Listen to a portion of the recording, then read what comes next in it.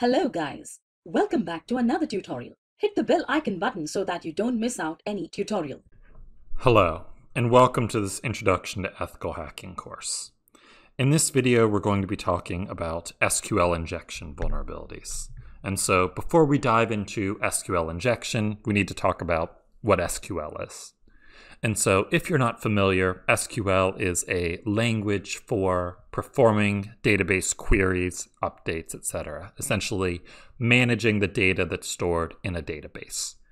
And so, SQL injection vulnerabilities take advantage of the fact that many of these SQL commands involve external user input and that a developer may not have properly say, sanitized that user input before using it. And so in this video, we're going to be using WebGoat to practice SQL exploitation. And so you'll remember WebGoat, we installed it in an earlier video. And at this screen here, I've um, started up WebGoat in the command line, browse to the WebGoat web interface at localhost 8080 slash webgoat and logged in using credentials had created previously.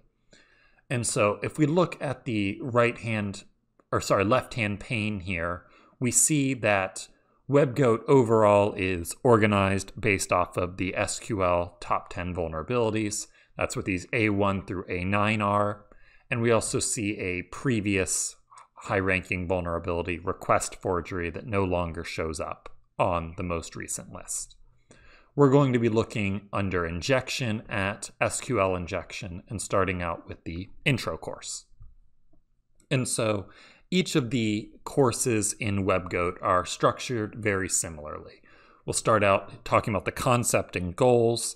There'll be some discussion setting the stage for um, performing the attack, including the opportunity to practice certain skills, and then a walk through how the attack works and performing different stages of it. And so in this case, our focus is understanding how SQL works and how to perform an SQL injection attack. And so moving on, we talk about what is SQL. And so mentioned that it's a programming language for managing relational databases. And so we're going to have a database composed of tables like this, where we have certain fields with names, say user ID, and then values. And these are horizontally um, organized into records. And so we have Toby Barnett with a user ID of 89761. And so using different SQL commands, we can um, query this database for information. We can add information to it, delete it, update it, etc. And so that um, those commands are governed by certain keywords. So select is for retrieving data, insert is for adding data, updating is for updating data, and deleting is for deleting data. And so um, if you want to practice your SQL queries, there's the opportunity to do so here at the bottom of the page. If you want more information on the format of an SQL query, which is very important for performing SQL injection attacks successfully, highly recommend W3 Schools, which has a complete tutorial including examples of how something works, opportunities to try it yourself as well. And so you can see uh, opportunities for inserting certain statements to perform, say, select operations. They also have other ones such as insert into, update, and delete. And so you can practice your syntax to make sure that you're building queries correctly. And so if you're not really familiar with SQL, recommend pausing the video and playing around a little bit here with W3 schools to get a good handle on the structure of an SQL query as it's important for understanding and performing SQL injection attacks. And so now let's dive a little bit more into WebGoat's SQL module. And so past this, we see that beyond data markup, it's also data definition language. And so there are commands for managing the database, creating it, changing its structure, and deleting it or dropping it in this case. And we can move on to um, data control where we can grant or remote or sorry grant or revoke privileges regarding the database using SQL queries as well. And so now here in the gray, we start getting into actual SQL injection attacks. And so, as I mentioned previously, SQL injection takes advantage of two things.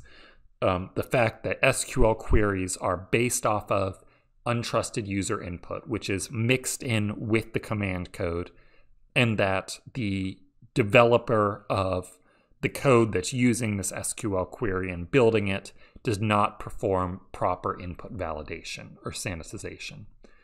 And so let's take a look here where we see an example of SQL injection. And so what we see is that a SQL query for retrieving information from the database table that we saw earlier is select star from users where name equals and then um, a user pro provided variable username. And then this username will be in single quotes. So, for example, if you entered Smith, you'd see Smith in single quotes.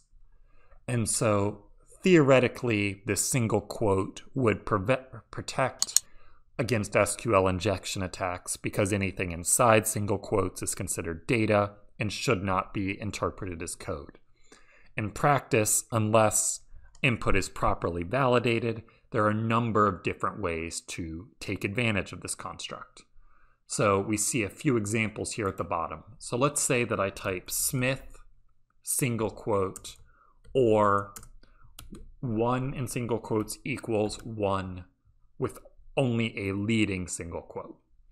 And so if we look here, we see the command that this builds. Select star from users where name equals Smith or 1 equals 1. And so in this case, we're changing the command from select star from users where name equals Smith to adding an additional term or 1 equals 1. And so 1 equals 1 is an example of tautology, where something is always true. And so by making it this name equals Smith or 1 equals 1, this statement will always resolve to true because 1 equals 1 is always true and anything or true is true. And so this statement will print all of the records in the table, not just the one associated with Smith. Let's take a look at a different structure. We see Smith, single quote, or 1 equals 1, semicolon, space, hyphen, hyphen. And so walking through this, we see that Smith again is in single quotes, so it's properly single quoted. We actually don't need single quotes around these ones as we had in the previous example, but the reason why we did so previously is we were interpreting them as strings because we needed to use up the final single quote. So this single quote here has to be around a string, and so we had it 1 equals 1 as strings. In this case, we're using them as numbers, and so this is a completely valid statement, which is equivalent to what we just did. Select star from users where name equals Smith or 1 equals 1. We're using our tautology with an OR, so it always resolves to true. So all of the records are printed. However, now we have that single quote hanging out that we um, haven't handled, which is why we have a semicolon to terminate this SQL command saying run this command and there'll be more to follow. And then we have these double hyphens which say the rest of this is a comment, and so do not interpret it. And so if you provide this to an SQL database, they're going to run the first command and then look, say, okay, the rest of this is a comment. I'm not going to interpret it. And so it doesn't care about the fact that we have characters there hanging out from the original command that no longer create a valid command. And so now let's look at one more example. And so we see Smith, um, close quote, semicolon, drop, table, users, semicolon, truncate, audit, log, semicolon, space, double hyphen. And so this command, first we're going to print all of the result, all of the records contained in the table. So we get the same result. However, we're going a step further. We're also running a drop table user command. And what this does is it completely deletes the table we just extracted the data from. So no not only have we stolen the data, but we're also creating a denial of service attack against legitimate users of the data who can no longer use this table.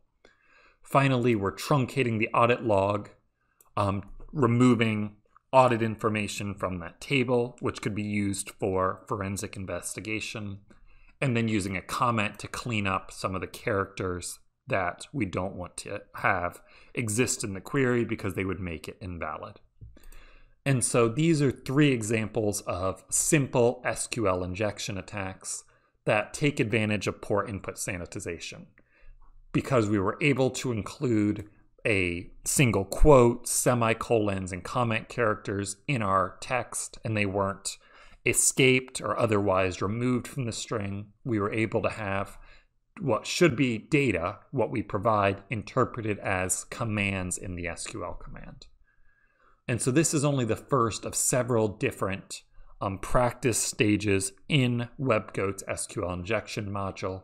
Invite you to continue working through this module and playing with the different types of SQL injection attacks. And so we see there are a variety of different consequences of an attack and um, different levels of severity depending on the details of the system being used.